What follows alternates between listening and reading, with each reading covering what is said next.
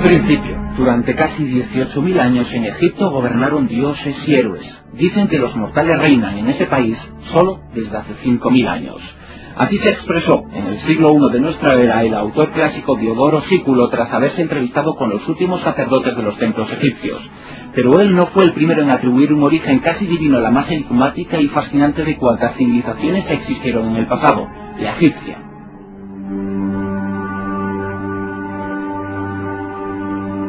El origen de la civilización del Nilo es un enigma. Da la impresión de que surgió de forma espontánea, sin un desarrollo y evolución previos. De las primeras dinastías de faraones datan algunas de sus obras más asombrosas, por ejemplo, las grandes pirámides. Sin embargo, al mismo tiempo, los habitantes del resto del planeta aún parecían anclados en la edad de piedra. Quizá por ello siempre se ha supuesto que algo extraordinario debió de ocurrir en los albores de la civilización egipcia. Además, muchos de los logros de aquella primera época ni siquiera fueron superados por los mismos egipcios posteriormente.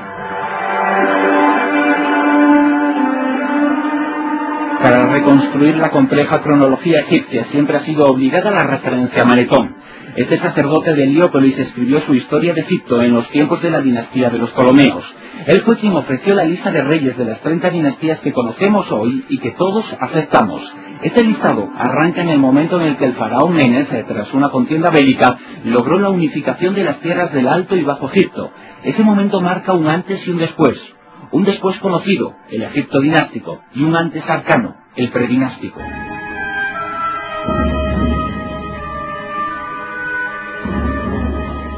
El griego Herodoto en el siglo V a.C. escribió que Egipto nació tras las visitas de los dioses.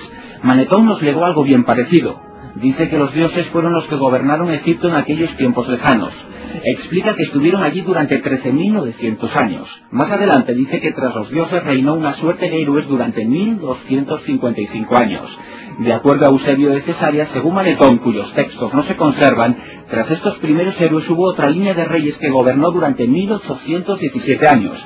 Después, se prosigue Eusebio de Cesarea, vinieron 30 reyes más de Memphis, que reinaron 1790 años, y 10 más de Tis, que lo hicieron durante 350. A ello siguió el reinado de los manes, durante otros 5.813 años.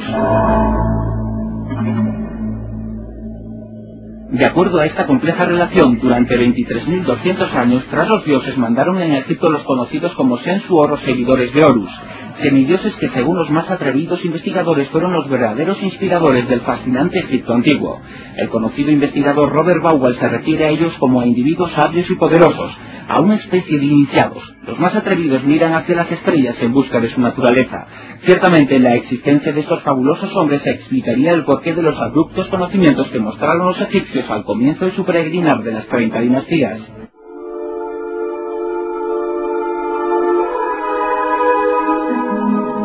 Así, por tanto, según este sacerdote egipcio, en los tiempos que precedieron a la unificación de Manes, una estirpe de hombres dioses reinaron en el país del Nilo. Ahora bien, la duda surge cuando ante lo fantástico de la narración de Manetón nos cuestionamos si este aludía a estos gobernantes de modo mítico se refería a ellos como a seres reales.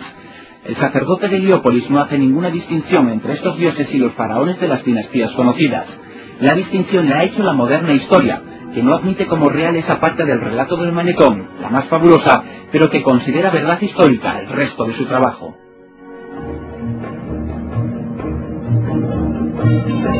Si estas cronologías son auténticas, habría que remontarse a hace 30.000 años para encontrar el origen de Egipto. Se antoja imposible, pero ojo, las más recientes investigaciones obligan a un replanteamiento de la cronología egipcia. Por ejemplo, a la esfinge a la que se suponía una antigüedad de 4.500 años, se le atribuyen ahora mediante modernos estudios más de 10.000. Esta tónica podría ser seguida por otros monumentos. Si es así, quizá la fabulosa descripción del origen